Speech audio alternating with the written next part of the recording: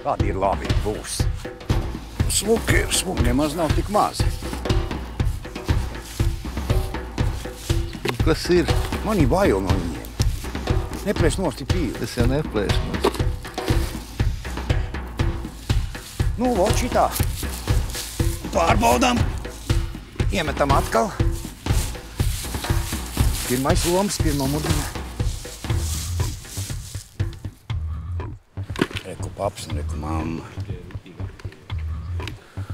Nu, šitie tie slavenie signālēži. Salacā kā populācija vairāk vietējie sugu nav. Vienīgā, ko jebkurš cilvēks var atšķirt, šī ir šie baltie pleķi starp spīlēm.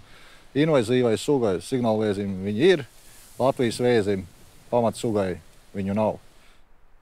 Lielākais stāsts ir par to, ka šie vēži ir neprasīgi pret ūdens kvalitāti. Latvijas vēzis ir ļoti prasīgs ūdens kvalitātei.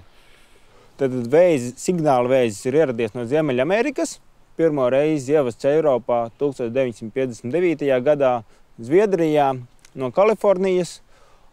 Ievests ar mērķi atjaunot uh, vēžu krājumus, izplatījies tālāk pa citām Eiropas valstīm arī ar šādu mērķi.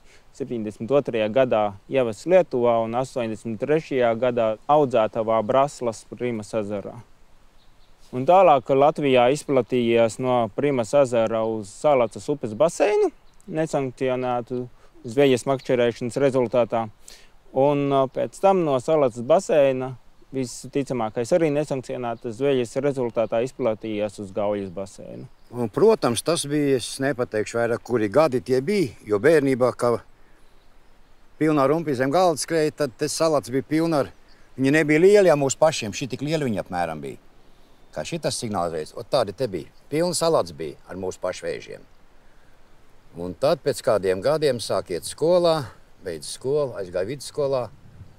Un tad aizgājām vienreiz uz salats un skatāmies kaut kādi nepazīstami vēži. Un tā, ka viņi 40 gadu laikā ir pārņēmuši visu salats, un viss salats pieteks. Ši- Tieši šo vēju ievazājot, Latvijas vēju pārmirst, nomirst, jo redz, viņš am ir, viņš izplata citu invazīvu sugu, kura izraisa vēržu mēri. Un kamēr Jāmērikas ā, vēži ir pret vēžu mēri noturīgi, viņi izdzīvo, tad mūsu vietējie vēži mirst no viņa nost un aiziet populācijas zudībā.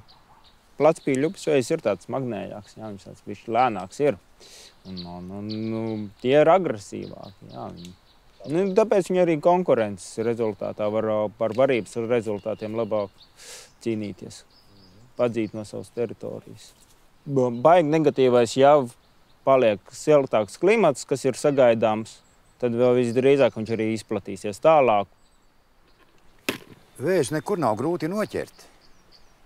Ja viņš ir tādā ūdenskrātavē, nu, ieliek murdiņu un viņš jau tur pats ielien tas vēžs iekšā. Viņam nav Nu, jā, tikai jāskatās arī, kā kura ūdenskrātuvē atļauts ir. Jā. Nu, jā, jā, to tu nedrīkst pārkāpt. Tas nedrīkst tas pārkāpt, jā, tas jāskatās. Te ir licencētais viss. Tas nu, Licencētais, uh, tur, kur ir licencētais, tur jāskatās, vai nu ir mūrdi vai krītiņi.